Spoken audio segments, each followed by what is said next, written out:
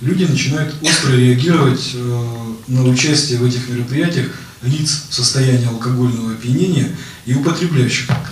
У нас все городские мероприятия безалкогольные. Вот это должна быть норма, которая э, постепенно дойдет до понимания каждого. Ну вот пошел пьяный на мероприятие, э, либо административный штраф получил, либо тебя вывели.